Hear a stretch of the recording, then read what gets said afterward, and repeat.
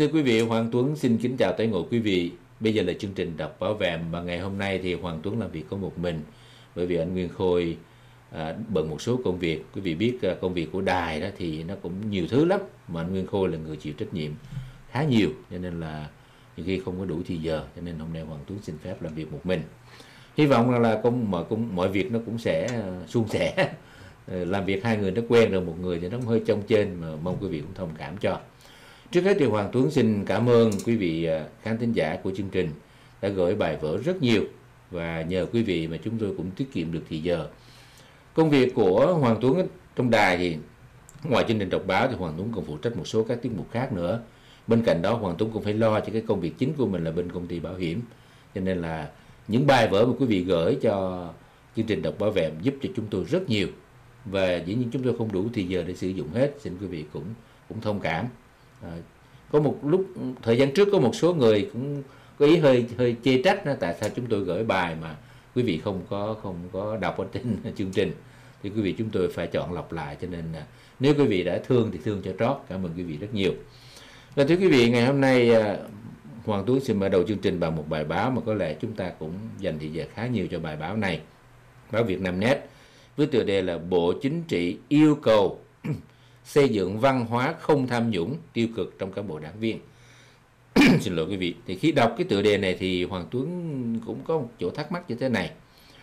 Nếu mà đã gọi là xây dựng văn hóa không tham nhũng tiêu cực trong cán bộ đảng viên thì nó sẽ không có tính pháp lý. Bởi vì đó mình xây dựng một cái một cái văn hóa Việt Nam thì quý vị biết rồi phố văn hóa phường văn hóa chỗ nào cũng văn hóa. Mà chỗ nào càng để cái chữ văn hóa càng lớn á, thì nó lại càng thiếu văn hóa. cái chuyện nó nó nó buồn cười là như vậy. Và một khi bộ chính trị yêu cầu xây dựng văn hóa không tham nhũng ờ, và không không không tiêu cực trong công, trong cán bộ đảng viên, thì cái này nó sẽ không có mang tính pháp lý. Như vậy thì hoàng tuấn nghĩ nó chưa có đủ mạnh. Mà chúng ta xem thử bộ chính trị nói cái gì. Bộ Chính trị vừa ban hành kết luận số 12 về tiếp tục tăng cường sự lãnh đạo của đảng đối với công tác phòng chống tham nhũng và tiêu cực. Bộ Chính trị ghi nhận 5 năm qua các cấp ủy tổ chức đảng đã tạo ra bước tiến rõ nét, đột phá trong công tác phòng chống tham nhũng lãng phí, công tác phát hiện xử lý tham nhũng được chỉ đạo quyết liệt, tham nhũng từng bước được kiềm chế và ngăn chặn. Thưa quý vị, đây là một cái bài mà lúc nào những bài báo viết về chống tham nhũng người ta cũng có những cái câu như thế này. Đây là những cái câu dạo đầu mà phải có. Những thành quả này đã góp phần giữ vững ổn định chính trị, thúc đẩy phát triển kinh tế xã hội, xây dựng đảng và hệ thống chính trị trong sạch vững mạnh, củng cố niềm tin của nhân dân đối với đảng và chế độ. Thưa quý vị, ai tin thì tin, nhưng Hoàng Tuấn thì không có tin. Và Hoàng Tuấn tin chắc rằng người dân Việt Nam trong nước, những người mà chịu trực tiếp sự lãnh đạo của Đảng Cộng sản Việt Nam đó thì người ta cũng không có tin. Làm gì có cái chuyện mà củng cố niềm tin của nhân dân đối với đảng và chế độ mà kiềm chế tham nhũng và tuy nhiên Bộ Chính trị lưu ý một số hạn chế trong đó có cơ chế chính sách pháp luật trên nhiều lĩnh vực vẫn còn sơ hở bất cập, chưa ngăn chặn hiệu quả tham nhũng lãng phí, thực hành tiết kiệm chống lãng phí còn nhiều hạn chế, lãng phí trong cơ quan nhà nước và trong xã hội còn rất nghiêm trọng. Thưa quý vị, dĩ nhiên, cái việc mà tham nhũng, lãng phí tiêu cực thì tham nhũng nó phải ở trong cơ quan của nhà nước, chứ người dân lấy gì đâu mà tham nhũng. Và tình trạng cán bộ nhũng nhiễu tiêu cực gây phiền hà cho người dân doanh nghiệp chưa được ngăn chặn kịp thời. Vẫn còn xảy ra những vụ việc tham nhũng nghiêm trọng có tổ chức rất tinh vi, phức tạp gây bức xúc trong dư luận. Thì đối với người dân, người dân chỉ biết bức xúc thôi. Nhưng mà chúng tôi thắc mắc cái chỗ này là khi mà Bộ Chính trị yêu cầu xây dựng văn hóa không tham nhũng đó thì chúng tôi đã nhắc rồi nó nó sẽ không có không có tính pháp lý cái thứ hai nữa là đã nhất là đảng viên đó đã được tôi luyện từ lúc mà nhỏ là đeo khăn quàng đỏ xong rồi tới đoàn tới đội tới đoàn. Rồi rồi rồi vô đảng. Thế thì tại sao từ lúc thành lập đảng cho tới bây giờ gần một thế kỷ và từ lúc thống nhất đất nước tới giờ 47 năm, mà chúng ta phải xem lại cái hệ thống ừ, ừ, tuyên giáo của trung ương như thế nào, dạy dỗ cán bộ như thế nào? Bất cứ cơ quan nào cũng để hình ừ, ông Hồ Chí Minh. Bất cứ cơ quan nào cũng để những khẩu hiệu rất là lớn. Thế thì tại sao vẫn còn tham nhũng? Thì những cái gì mà mình làm mình thấy nó không xong đó, mình phải sửa lại chứ thì cái này là trong một cái chế độ độc tài thì người ta lúc nào người ta cũng giữ những cái điều mà người ta cho là người ta có quyền và có những cái chỗ chúng tôi xin nhấn mạnh là Vì vậy Bộ Chính trị yêu cầu tập trung thực hiện tốt một số nhiệm vụ trọng tâm. Trong đó Bộ Chính trị nhấn mạnh đến việc kiên quyết, kiên trì xây dựng văn hóa tiết kiệm, không tham nhũng tiêu cực trong cán bộ đảng viên công chức, viên chức và nhân dân. Thì quý vị chúng tôi nghĩ là không tham nhũng tiêu cực trong cán bộ đảng viên đủ rồi. Chứ còn công chức viên chức cũng có thể đi. triều nhân dân lấy gì đâu tham nhũng. Nhân, nhân dân quý vị biết những cái công trình xây dựng này kia là tiên là, là do nhà nước quản lý thì nhân dân muốn tham nhũng lấy cái gì tham nhũng cái gì mấy ông cũng bỏ nhân dân vô ha cán bộ đảng viên trước hết là cán bộ lãnh đạo quản lý phải chấp hành thực hiện nghiêm các quy định của đảng và pháp và pháp luật của nhà nước về phòng chống tham nhũng tiêu cực thực hiện tốt quy tắc ứng xử đạo đức nghề nghiệp trọng liêm sĩ danh dự, phê phán lên án tích cực đấu tranh chống tham nhũng tiêu cực. Thì quý vị quý vị có tin điều này không? Thì mỗi ngày, mỗi tuần chúng tôi đọc báo và quý vị ở trong nước, quý vị đọc báo mỗi ngày thì quý vị thấy là chỗ nào cũng có tham nhũng, chỗ nào cũng có hối lộ, chỗ nào cũng có tiêu cực. Và trọng liêm sĩ danh dự, thì quý vị, mấy ông á, ông tham nhũng, hối lộ từ nhỏ cho tới lớn và có những cái vụ nó không có bưng bít được. Và tranh là đấu đá phe đảng với nhau, đem ra tòa. Thì 10 ông là hết chín ông là ra tòa là khóc lóc rồi. Như thế thì gọi là trọng liêm sĩ danh dự thì chúng tôi chúng tôi không biết là liêm sĩ với danh dự nằm chỗ nào. Và cấp ủy tổ chức đảng, người đứng đầu các cấp phải nêu cao tinh thần trách nhiệm quyết liệt, đi đầu, trực tiếp lãnh đạo, chỉ đạo, thực hiện phòng chống tham nhũng tiêu cực. Đảng viên phải gương mẫu hơn quần chúng, cán bộ phải gương mẫu hơn nhân viên cán bộ giữ chức vụ càng cao càng phải gương mẫu. Thưa quý vị chứng cán bộ giữ chức vụ càng cao thì nó tham nhũng càng nhiều. Ừ. Còn uh, đảng viên phải gương mẫu hơn quần chúng. Thưa quý vị và quần chúng tôi nhắc lại tham nhũng là chỉ có đảng viên với cán bộ thôi chứ quần chúng lấy đâu mà tham nhũng ha rồi à, mấy ông còn nói như thế này nữa chứ là phải bảo đảm dân chủ công khai minh bạch các quy định và chế tài xử lý đối với tổ chức cán bộ đảng viên công chức à, và các viên chức suy thoái về tư tưởng chính trị đạo đức và lối sống. Thì thấy Việt Nam bây giờ là nó tràn lan. Chỗ nào mà có cán bộ đảng viên chỗ nào à, giáo dục cũng cũng ăn nè rồi bên à, y tế cũng ăn nè rồi à, à, xây dựng này nhất là bên ngành xây dựng nó ăn kinh khủng lắm. Thì à, mấy ông còn nói cho đẩy mạnh ứng dụng công nghệ thông tin trong quản lý thực hiện chế độ thanh toán không dùng tiền mặt. à, có những cái điểm như thế này nữa chứ. À, Bộ Chính trị cũng lưu ý tăng cường quản lý chống thất thoát lãng phí trong quản lý và sử dụng ngân sách nhà nước quản lý đất đai tài nguyên khoáng sản vốn tài sản nhà nước ở các doanh nghiệp đầu tư công và dịch vụ công. Thưa quý vị điều này chúng tôi hoàn toàn không không tin được. Bởi vì quý vị thấy trong phần sau của chương trình thì chúng tôi sẽ cho quý vị thấy những những cái công trình. Mà đó là những công trình tiêu biểu thôi nha chứ còn nhiều lắm có cái thì 5 năm có cái 3 năm có cái vài chục tỷ có cái trăm tỷ có cái cả ngàn tỷ. Những công trình gọi là đắp chiếu và bỏ hoang. Nó xảy ra như là ngày nào cũng có tháng nào cũng có chỗ nào cũng có. Thì làm sao mà có cái việc mà chống thất thoát lãng phí trong quản lý và sử dụng ngân sách nhà nước? Những cái công trình bị bỏ hoang không ai có trách nhiệm cả. Và à, à, à, cuối cùng thì người dân á, chỉ có biết là lắc đầu và bức xúc thôi ha và bộ chính trị còn nhấn mạnh phát huy hơn nữa vai trò của cơ quan đại biểu dân cử mặt trận tổ quốc Việt Nam và các tổ chức chính trị xã hội báo chí và nhân dân đấu tranh trong phòng chống tham nhũng tiêu cực à, đồng thời từng bước mở rộng phạm vi phòng chống tham nhũng ra ngoài khu vực ra khu vực ngoài nhà nước. Thưa quý vị nhắc lại cái chỗ này. Bây giờ cái khu vực ngoài nhà nước bây giờ trong nhà nước là cái ổ tham nhũng thì như các ông phải lo làm sao á là chấn chỉnh lại cán bộ đảng viên nó không tham nhũng. Bây giờ là mở rộng ra ngoài khu vực nhà nước nữa. Chúng tôi không biết ra ngoài nhà nước thì, thì ai tham nhũng chúng tôi cũng biết cái này chịu thua nha. Rồi à, là xây dựng đội ngũ cán bộ làm công tác phòng chống tham nhũng tiêu cực có bản lĩnh vững vàng trung thực có dũng khí để bảo vệ cái đúng đấu tranh với cái sai có kiến thức kinh nghiệm kỹ năng chuyên sâu nắm vững chủ trương đường lối của đảng pháp luật nhà nước và trong à, phần này các ông còn bảo rằng là khuyến khích người dân đó là phải tố cáo tham nhũng. Uhm, tức là những chỗ nào mà có tham nhũng thì à, ai mà phát hiện ra tham nhũng đó okay, thì phải báo và người dân phải góp phần trong cái việc này. Thì quý vị quý vị quý vị nghĩ là dám không? Trong thời gian những năm vừa qua thì quý vị thấy là có những cái chết nó bất thường lắm. Bên giáo dục bên y tế có những người tự nhiên khi mà lên tiếng đấu tranh à, đề đề cập tới vấn đề mà chống tham nhũng á, thì bị trù dập ngay cả phóng viên như làm phóng sự cũng bị đánh đập. Và có những người đứng trên lầu thì té xuống đất chết. Cho nên là đây là cái bài mà đảng đảng và nhà nước phải nói như vậy. Nói cho nó có nói cho nó vui. Chứ còn nếu mà bảo rằng là để củng cố niềm tin của nhân dân đối với đảng và nhà nước thì chúng tôi nghĩ không cần phải có những cái bài như thế này. Mà trước hết đó là phải làm rõ những cái vấn đề những cái công trình mà tốn hàng bạc tỷ. Mà cuối cùng thì nói tới nói lui nói xuôi nói ngược thì cái đổ lỗi cho ông này đổ lỗi cho ông kia. Cuối cùng rồi không ai có trách nhiệm cả. Đó. và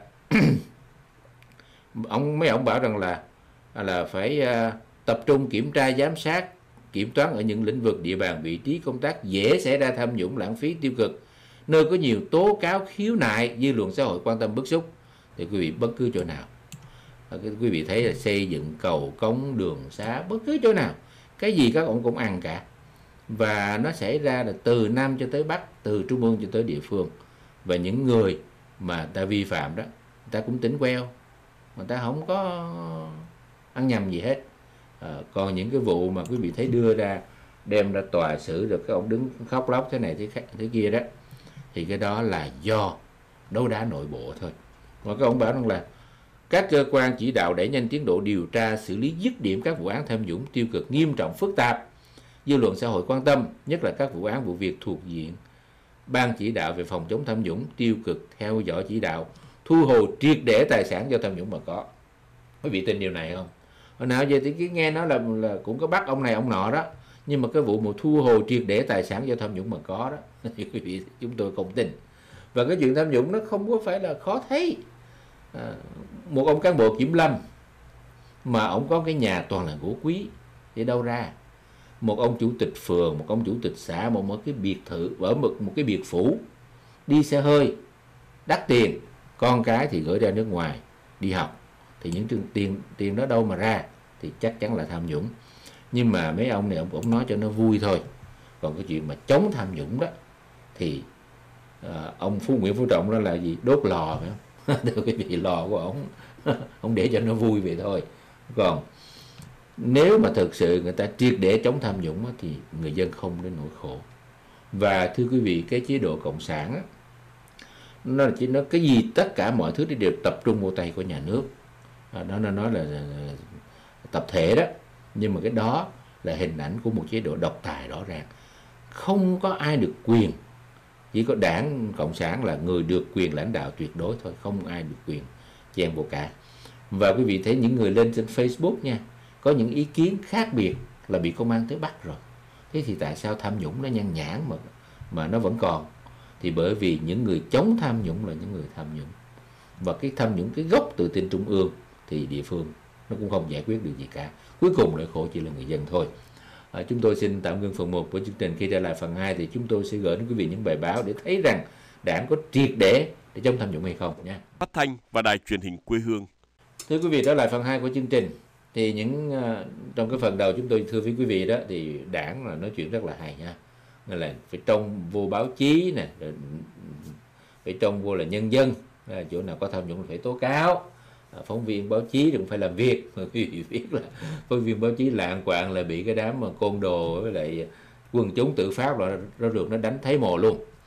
Rồi, bây giờ báo tuổi trẻ online này quý vị xem những cái chương trình như thế này mà các ông bảo là phải làm triệt để ha. Trường mầm non hiện đại và đẹp nhất tỉnh chưa sử dụng đã lúng và nứt. Báo tuổi trẻ online. Trường mầm non Hoàng Mai, giai đoạn 1 ở phường Hương Sơ, thành phố Huế, Thừa Thiên dù chưa được đưa vào sử dụng, nhưng đã bị lúng và chằng chịt vết đứt nẻ phải vá loạn lỗ. Thưa quý vị, một cái trường mầm non chưa vào sử dụng mà nó bị lúng và chằng chịt vết đứt nẻ phải vá loạn lỗ, cái trường này ai xây? Ai là người chịu trách nhiệm? Ở địa phương nào? Chính quyền địa phương đó có trách nhiệm như thế nào? Thì nó quá rõ ràng, phải không? Cái chuyện này không thể nào mà giấu đi đâu được. Thế mà tại sao? Đây là một một trong số hàng trăm hàng ngàn những những cái cái, cái, cái công trình xây dựng và chúng tôi nghĩ rằng là tại vì cái trường này nó mầm non cho nên nó mau hư như vậy nếu mà có mầm già chắc nó đỡ hơn ha thì ngày 21 tháng 4 nhiều công nhân vẫn đang cố gắng khắc phục những vết nứt chi chít bên trong công trình trường mầm non Hoàng Mai ở phường Hương Sơ thành phố Huế. Thưa quý vị, một cái công trình xây lên chưa sử dụng mà nó nứt như thế thì khắc phục để làm gì? Khắc phục là nó có đứng vững được hay không? Ừ. Đây là công trình được xây dựng với kinh phí hơn 15 tỷ đồng. 15 tỷ đồng đối với đối với cái sự phá hoại của Đảng Cộng sản Việt Nam với nhà nước Cộng sản Việt Nam thì 15 tỷ này nó không nhầm vậy đâu ha. Bởi vì có những công trình đến cả ngàn tỷ mà.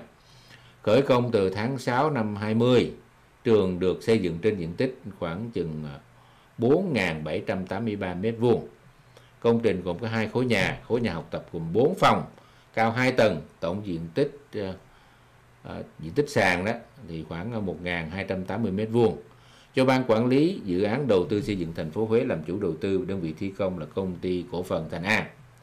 À, nói chung là trên cái cái bản vẽ và những cái cái cái quy mô thì rất rất là rất là đẹp ngôi trường này được đánh giá là một trong những trường mầm non hiện đại và đẹp nhất tỉnh Thừa Thiên Huế thưa quý vị nó hiện đại và nó đẹp nhất nhưng mà nó chưa sử dụng mà nó nứt rồi nó nó nó lún rồi nhằm phục vụ bà con di dời dân cư tại khu vực à, di tích kinh thành Huế khu vực 1 và Trước đó như tuổi trẻ online đã thông tin ngôi trường này bị dư luận nghi ngờ về chất lượng công trình khi bị phát hiện lún nền móng khoảng 23 cm. Theo quan sát đến nay các đơn vị liên quan chưa có biện pháp gì khắc phục việc công trình bị lún nền móng và tại công trình xuất hiện nhiều vết nứt nẻ trên kết cấu tường. Thì quý vị là một cái công trình xây dựng như vậy nó chưa đưa vô sử dụng mà nó hư như thế này. Một ông thợ nề bình thường thôi, một ông thợ hồ bình thường thôi ông làm một cái vách tường làm cái nhà cho người ta. Nghĩa là nghĩa là không có ban quản lý công trình không có gì cả. À, ngày xưa hoàng tuấn nhớ bên việt nam đó. À, ta chỉ muốn một uh, hoàng tuấn có quen với mấy người ở tuổi hoàng tuấn và tuổi em út nữa làm làm cái nghề kêu là thợ nề và thợ hồ đó thì mình muốn xem một cái cái cái cái cái cái phòng một vách tường. Thì những người đó người ta tới người ta đem gạch đem xi măng tới người ta xây. Nó vững vàng. Người ta là một cá nhân thôi. Người ta không có qua một cái không có ban quản lý công trình không có dự án không có gì cả. Mà tại sao bức tường nó vẫn còn?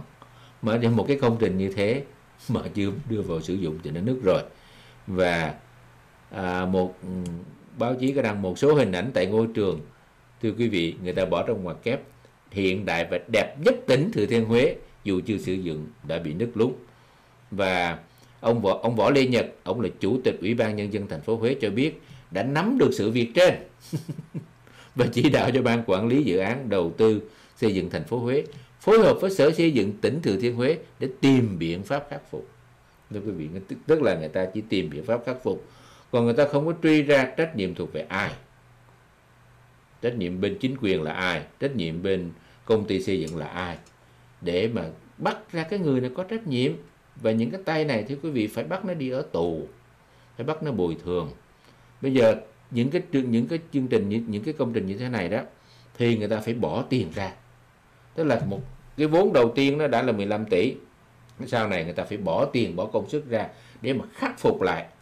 Nhưng mà khi khắc phục lại đó thì không biết là có đưa vào sử dụng được hay không và nếu quý vị có con em, quý vị có dám cho nó ngồi trong cái trường này không? Chính những người độc giả trong nước khi người ta đọc bài báo này ta nói, người ta đặt câu hỏi là nếu quý vị có con em, quý vị có dám cho vô ngồi trong cái trường như thế này không? Nó chưa sử dụng, nó đã nứt nó mà nó lún rồi.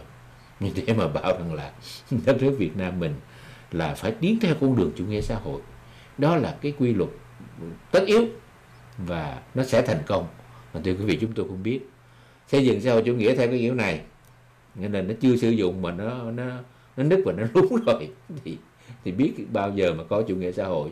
Cho nên thưa quý vị cho tới giai đoạn này thế kỷ 21 uh, ờ, những người dân Việt Nam vẫn còn ăn bánh vẽ. Và một cái điều mà ai cũng thấy được là đất nước Việt Nam chúng ta không thể nào ngóc đầu dậy nổi bởi vì vẫn còn cái chế độ độc tài. Cái chuyện đó ai cũng thấy cả đất nước nào nó cũng có tham nhũng cũng có hối lộ.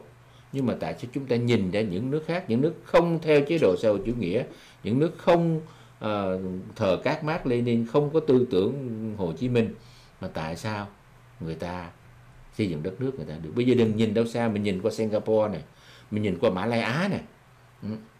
Rồi mình nhìn ở um, bởi vì Việt Nam gọi là Hàn Quốc Nam Hàn và Bắc Hàn. Nhìn đất nước thấy chia đôi, một bên là Nam Hàn, bên là Bắc Hàn. Thì quý vị thấy đó, bên Bắc Hàn, nó là cái thằng ăn mày, nó có thằng ăn vạ. Nó không làm được cái tích sự gì cả.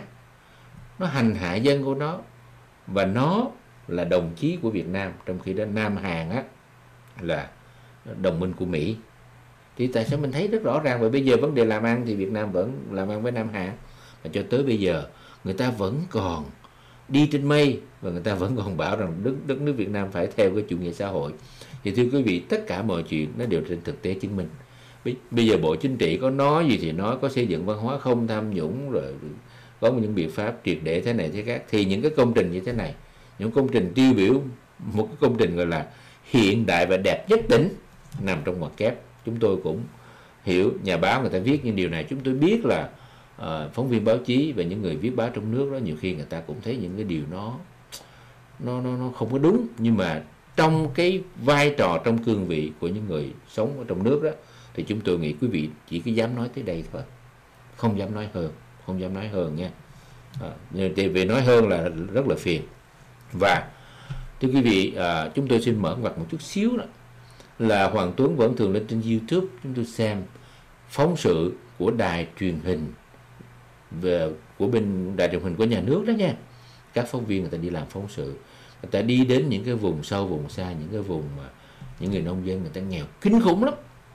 Và Hoàng Tuấn không thể tưởng tượng được là có những cái vùng mà bây giờ người ta không có điện không đường xá không có. Và một gia đình nông dân á, khi ăn cơm đó cả gia đình ăn cơm trong cái rổ và có một cái thau nước lạnh. Thì khi ăn như vậy thì múc múc nước để mà uống đó thì cán bộ mới hỏi chứ, ủa, cái này là cái gì? Thì đứa bé nó nói, đây là nước lã. Tại sao phải ăn cơm với nước lã? Bởi vì ăn như cho nó dễ ăn. Nhưng mà quý vị nhớ là sau năm 75 đó, chúng tôi nhớ mình cái bài mà mà trong nhà trường dạy cho học trò nó mà cái gì? Bản làng điện sáng hơn sao. Quý nhớ không? Nông trường ta rộng mênh mông, trăng lên trăng lặn mà vẫn không ra ngoài. Đó rồi à, ta hiên ngang đi giữa ban ngày đường ta rộng thênh thang ta bước đường ta rộng thênh thang tám thước. Đó. Và những người dân ở miền núi những người dân ở vùng sâu vùng xa là ôi bót hồ nhớ ơn bót hồ. Nhờ có bót hồ thì cái bụng mới no. Ờ, không có bót hồ cái bụng không có no. Thưa quý vị đó là báo uh, phóng viên của các đài truyền hình ở trong nước đi quay cho nên nếu quý vị lên trên YouTube thì quý vị nên xem những chương trình đó. À, để thấy rằng là những cái việc của ờ, nhà nước nói của đảng cộng sản nói nó có đúng hay không. Cho nên nhiều khi chúng tôi cũng buồn cười có có những cái chương trình người ta bảo rằng là cái gì? À, lo cho đời sống của kiều bào ở nước ngoài. Thì nó rất rất là buồn cười rất là ngớ ngẩn. Rồi thưa quý vị cái này ở thành phố Huế. Rồi bây giờ có một cái công trình nữa. Ừ cận cảnh công trình gần 140 tỷ xây xong rồi bỏ hoang trên biển. Công trình dự án nhuyễn thể được đầu tư gần 104 tỷ đồng bị bỏ hoang trên vịnh Bái Tử Long, huyện Vân Đồn, Quảng Ninh. Nhiều người không khỏi xót xa. Lúc này là ở Huế, bây giờ ở Quảng Ninh. Tức là từ Nam tới Bắc chỗ nào cũng có cả. Và đây là dự án đầu tư xây dựng hạ tầng vùng sản xuất giống nhuyễn thể tập trung Vân Đồn. Nhuyễn thể là những cái con vật mà dùng như con ốc rồi đó. Những con vật mà cái thân nó mềm á. Ờ, người ta gọi là nhuyễn thể. À, và mức đầu tư tới 140 tỷ đồng. Thưa quý vị cái trường ở Huế là 15 tỷ. Và cách đây 2 năm đó thì dự án đã đủ điều kiện để đi vào hoạt động. Và quý vị biết là ngân sách của trung ương là 101 tỷ. Ngân sách tỉnh là hơn 35 tỷ đồng. Ngân sách trung ương 101 tỷ và ngân sách của tỉnh tất cả tiền này từ đâu ra là tiền đóng thuế của người dân. 140 tỷ và ừ, bây giờ thì không có làm gì hết, bỏ hoang bỏ hoang chơi vậy thôi đó. thì ờ, để tháo gỡ các vướng mắc nhằm sớm đưa công trình vào hoạt động, tỉnh Quảng Ninh đã tổ chức hàng loạt các cuộc họp, nhưng đến nay tiến độ vẫn dậm chân tại chỗ. Không ai biết đến khi nào công trình gần 140 tỷ đồng đi vào hoạt động để phục vụ lợi ích của nhà nước và người dân.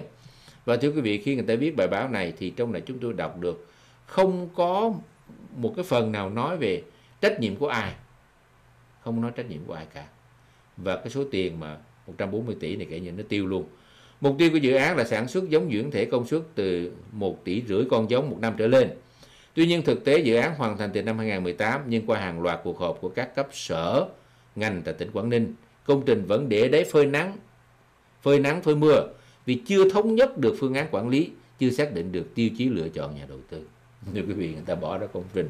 140 tỷ người ta chưa thống nhất được, chưa làm được cái gì hết và bây giờ thì không ai biết. Không ai biết cả. Nên là trong cái bài thơ của nhà thơ Trần Thị Lam đúng. Đó là em hỏi anh, rồi anh hỏi ai, không ai biết trả lời, không có câu trả lời. Thưa quý vị, thì đó, hai cái bài báo như vậy để chứng minh rằng là có làm triệt để chống tham nhũng hay không và thu hồi tài sản thất thoát hay không. Và tất cả những cái nỗi khổ đều là đổ trên đầu của người dân. Rất tiếc à, chúng tôi không đủ thì giờ xin cảm ơn sự theo dõi của quý vị và hoàng tuấn sẽ gặp lại quý vị vào chương trình lần tới.